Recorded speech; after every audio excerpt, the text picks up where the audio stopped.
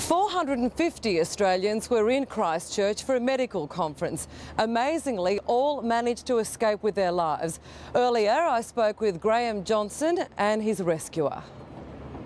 The building started rocking and people were screaming and a lot of people tried to run out. There was panic, uh, a lot of women crying, uh, a lot of people shaking. I didn't stop shaking until about seven o'clock last night. Out in the street, uh, the, the traffic was just gridlocked people were trying to go up in front of the convention centre and they weren't allowed to because of the gas leak, so they then had to try and do U-turns in the street.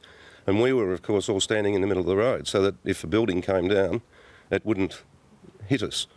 But um, our hotel, um, the Crowne Plaza, was very badly damaged, and we could see that from the street. And all of our possessions are in the room. Our passports are in there, all of our clothes, and we can't go in. They don't know when it'll be safe enough to go in. We were supposed to spend the night in Hagley Park with everybody else in the convention centre. My new best friend Peter came along. Um, and, and, Peter, Peter, where did you step in? Um, I'd gone down just during the afternoon with my brother. Unfortunately, his wife's still trapped. The Pyne Gould building's uh, totally collapsed. Unfortunately, she's in the first floor. I spoke to one of the bosses here about two hours ago, and he'd done a plan of the building and the workstation that she's at sounds like that part of the building is just completely demoed and there's not a lot of hope because we've had no contact through cell phone, no nothing, and we're at 24 hours. And the first thing she would want to do would be talk to the kids and let the kids know that mum's all right. So it's, it's not looking very good. It's not. Sorry.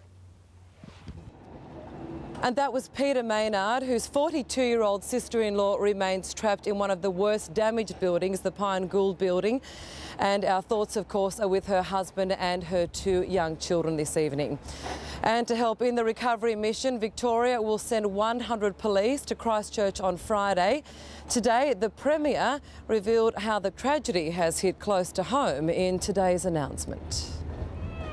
The scenes of destruction in Christchurch are a far cry. The Premier's recollections of Christmas there with family five years ago. I've been in the cathedral, I've been in Hagley Park, I've been in those streets.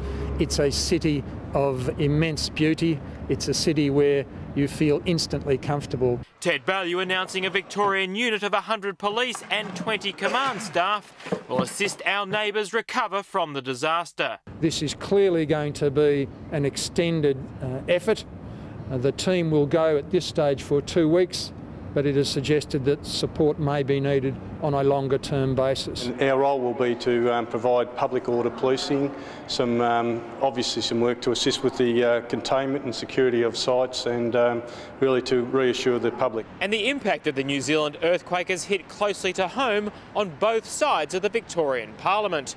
The opposition's emergency services spokeswoman says she too has extended family in Christchurch. A cousin. I mean, I'm, I don't have grave concerns, but we have not been able to uh, make contact with her yet at this point. Gareth Boreham, 10 News.